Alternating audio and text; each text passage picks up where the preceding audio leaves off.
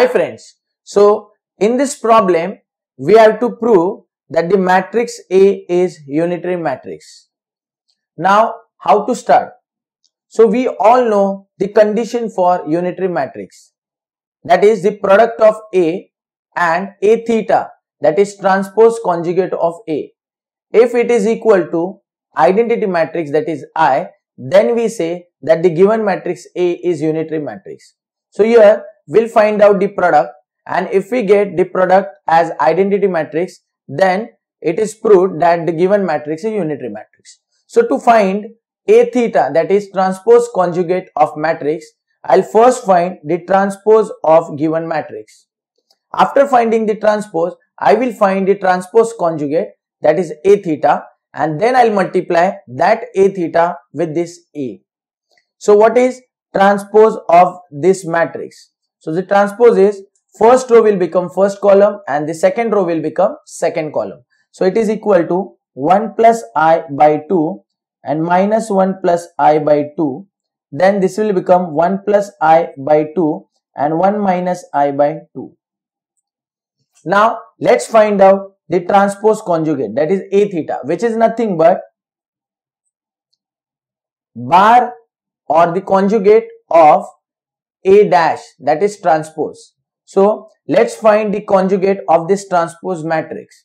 So to find out the conjugate we generally change the sign of imaginary terms. So the plus become minus and minus will become plus. So here this term will become 1 minus i by 2 again 1 minus i by 2 minus 1 minus i by 2 and 1 plus i by 2.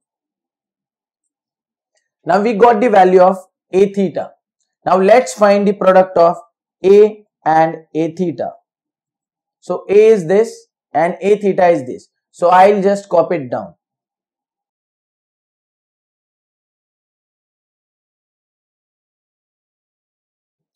Now let's find the product.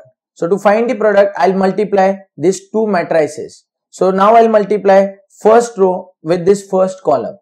So here we will get 1 plus i by 2 into 1 minus i by 2. So 1 by 2, 1 by 2 will become 1 by 4 and 1 plus i into 1 minus i. I will apply one formula from algebra here that is a plus b into a minus b equal to a square minus b square. So by using this formula here we will get 1 minus i square that is multiplication of this 1 plus i and 1 minus i. Next let's come to the second part this term into this term. So again we will get 1 by 2 into 1 by 2 that is plus 1 by 4 and here we will again apply the same formula. So we'll get minus 1 the square that is 1 and plus i minus i that is minus i square.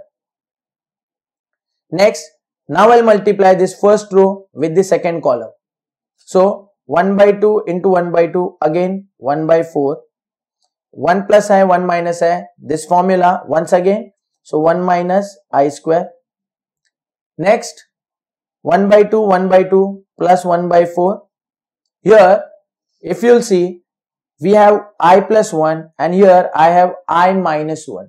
So again I can apply this similar property by considering i as a and 1 as b.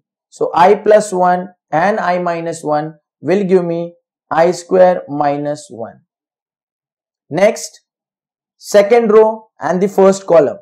So 1 by 2 1 by 2 1 by 4 1 plus i into 1 minus i will give me 1 minus i square. Next, this term into this term.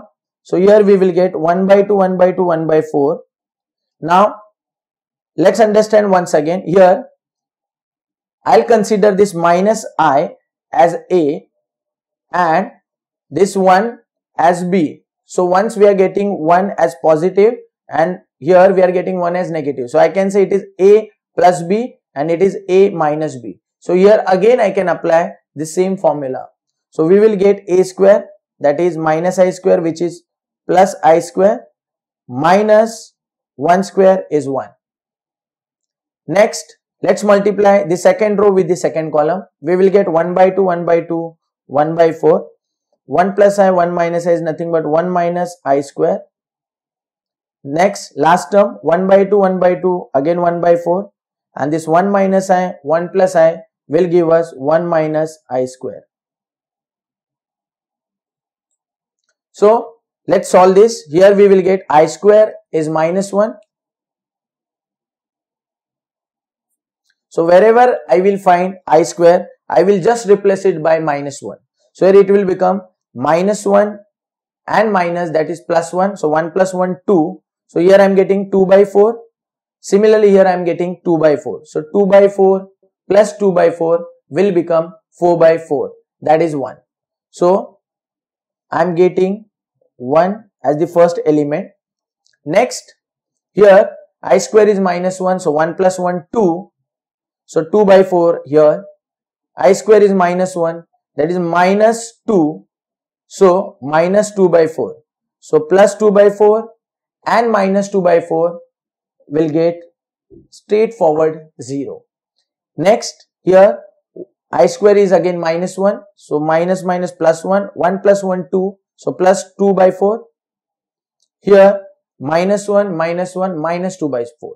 So minus 2 by 4 plus 2 by 4 we will get again 0 and the last term here i square minus 1 so here we'll get 2 2 by 4 plus i square minus 1 so again 2 2 by 4 so 2 by 4 plus 2 by 4 that is 4 by 4 which is equal to 1 and hence we are getting identity matrix I or unit matrix I.